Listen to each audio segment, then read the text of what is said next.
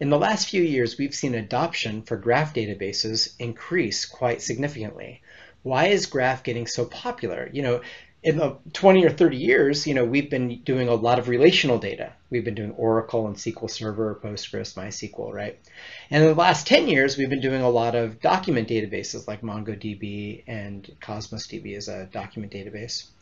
But the need for graph has really come to a head and it's gotten really popular and I wanted to address why. Now, the math wonks will tell you all the mathematical reasons why graph is cool. And, you know, if you talk to Neo4j, they might talk about performance and flexibility. But fundamentally, in my opinion, there's only two reasons why graph is so popular, and they're both related to each other. The first reason is that relationships between entities are descriptive, which means that you can preserve the developer intent behind those relationships. And the second reason is when you write queries to extract the data, you can preserve that intent in the query, where in other languages, preserving the intent is a lot more difficult. Um, so let's talk about developer intention, right? Preserving developer intention is critically important if you want to change something. Have you ever been on a project where you've said, you know, six months ago we made a decision. Why did we do that? And you've lost intention. When you lose the intention, when you lose the why we did something, nobody ever wants to change it they, because they're scared they're going to break something they don't fully understand. Graph databases like Neo4j do an excellent job of preserving the intention of the relationships between the different nodes or entities. So let's look at a relational system, right? This is the famous Northwind database in a relational database that a lot of us learn SQL using this database, right? Um, and you can see the entities are well named, right? Employees, orders, customers, but the relationship is more of a mechanical relationship, right? It's a one-to-one or one-to-many or many-to-many relationship. It's not a descriptive relationship.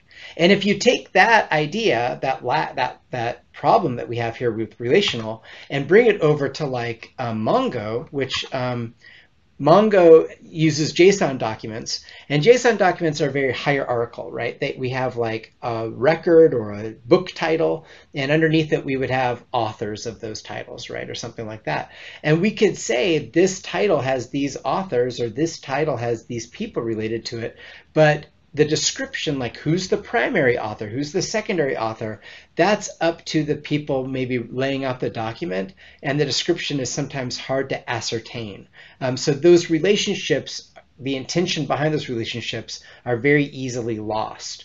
Um, and if you look at a Neo4j data model, you can't lose the intent behind the relationships because when you build the relationship, when you associate these things to each other, um, though you have to name them. You have to say why they're being uh, associated, right? So in this example, we are modeling email. And uh, you could say, well, this user sent an email to this user and oh this was a reply and it's coming back or it's a BCC and that is being documented in the relationship itself. So in a graph database we don't have like you know one-to-one relationships or many-to-many relationships. We have nodes and those nodes are associated with each other. And the description behind that is very very clear.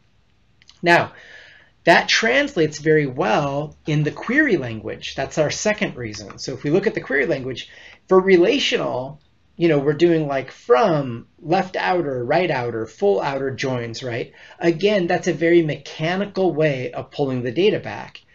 In, in Cypher, let, us compare what happens with Cypher. Cypher is the language in Neo4j. So so if we look at T-SQL, which is up here at the top, we're saying who bought the, this product, the chocolate.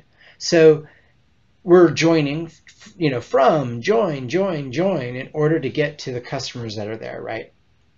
Now, if you've ever seen really complicated SQL statements that have like 50 tables in them, it's very easy to lose why you're doing something. But in Cypher, it's so terse, we say, look, we are looking for the product chocolate, and we know there's a path to pull back the company name of the people who bought it. And that's what we're doing. So the Cypher, because it's terse, terseness makes it easier to read. easy to read means that you get to preserve the intent. It's very clear why we drew this path to find the companies that bought this product, right? Um, and that, the, that because the relationships are descriptive, it's easy to navigate those relationships in the Cypher, and it's easy to preserve that intent. So, so those are the reasons why we use graph databases. These are the reasons why it's so popular right now. Um, I hope if you haven't looked at graph, uh, shout out to Neo4j.